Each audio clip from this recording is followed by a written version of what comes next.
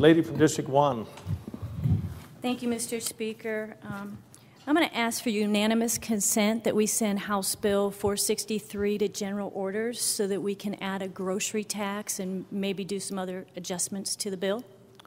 You, And there's been an objection. thank you, Mr. Speaker. I move that we send House Bill 463 to general orders to add the grocery tax repeal and possibly make some other changes. And I would remind the body this is not a procedural vote. Mr. Speaker, I second the motion. All right, we have a, a motion that has been properly moved and seconded. Is there further debate? Gentleman from 14.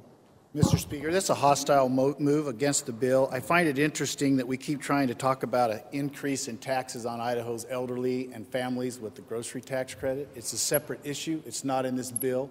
I would remind you the bill we're talking about is income tax reductions. Income taxes that have gone up in this state because Idaho has high income tax rates, some of the highest. I'd encourage you all to get out the sheet you got from your chambers and let's talk about it. Utah, 5% income tax rates. Nevada. Mr. Speaker, Uh, uh, we need to from stick to debating the motion, I believe, not the policy.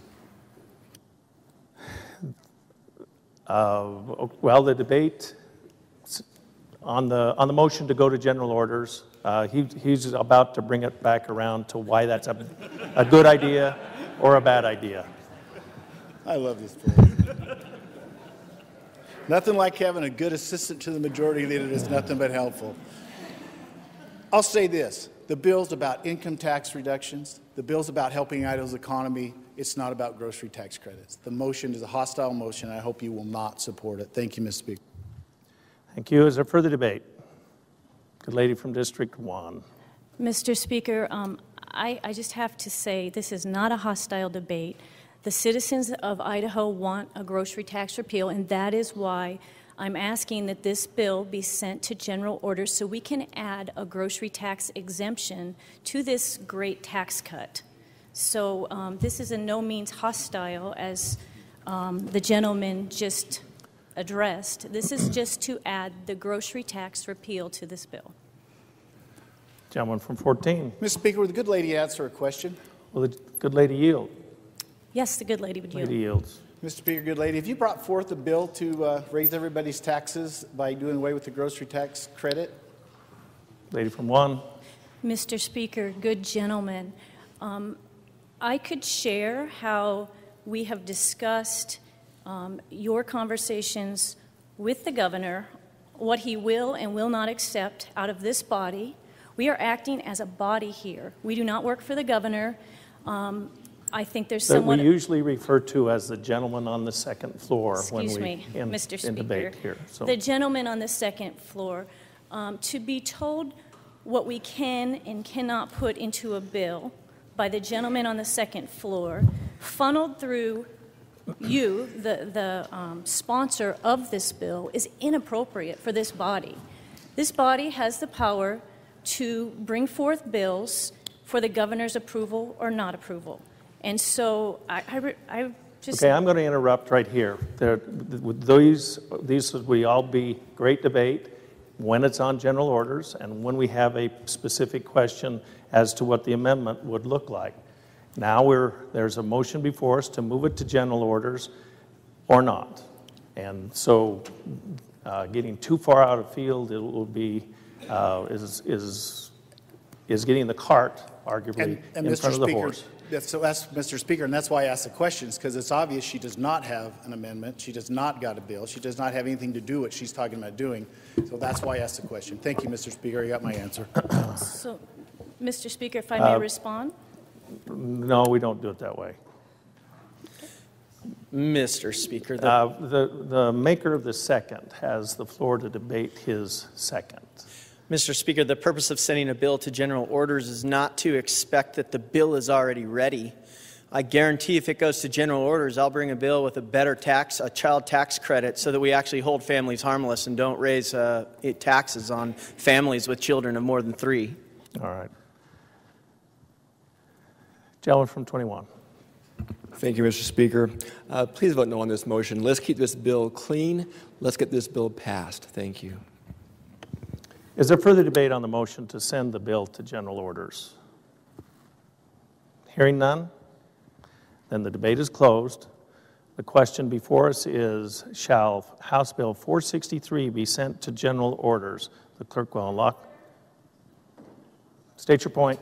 Um, I'm just wondering if I get to follow up um, to close the debate on sending it to general orders? On a, the House of Ease, well, we make sure we do it right, and I'll consult with the par- parliamentarian. House of Ease for a little bit.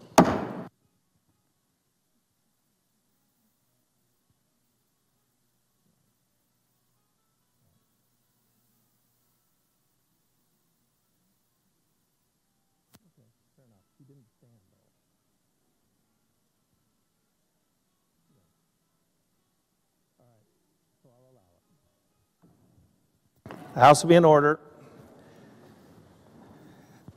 The, the maker of the motion has the right to, to close debate. I asked for further debate. No one stood up. Then we proceed to vote, and then, then you stand up. So I will allow, but let this be a lesson to all, that you have the, the right to close your close debate. If you forfeit that right by your sitting down and remaining on, in your seat until a later time, that will be, that will be ruled out of order in the future. I just want to make it clear, and the lady has the floor to quickly close her debate on the motion to send House Bill 463 to general orders. Go ahead. Thank you, Mr. Speaker.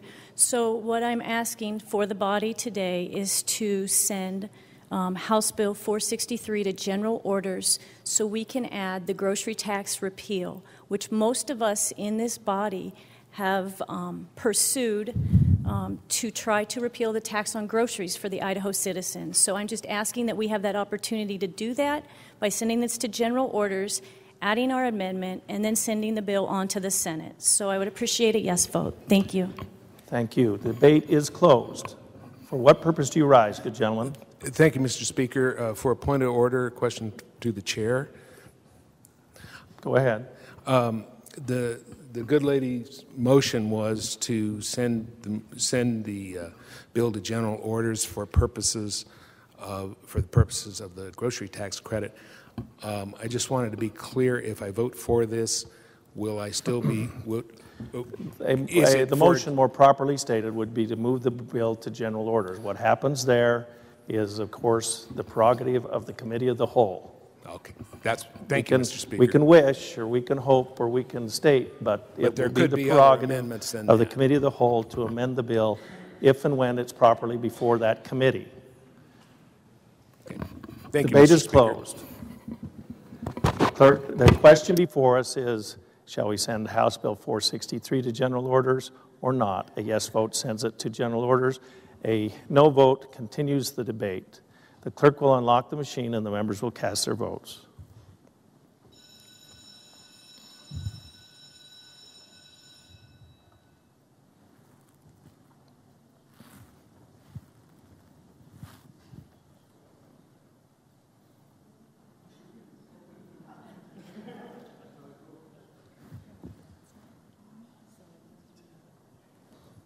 Okay. Do you need to reset? Dies on a tie vote, zero to zero, yeah.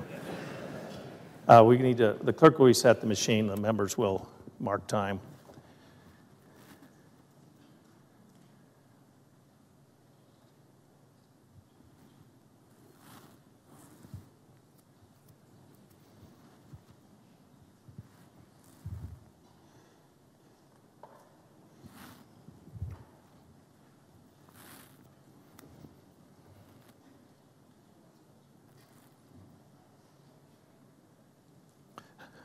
Has every member voted?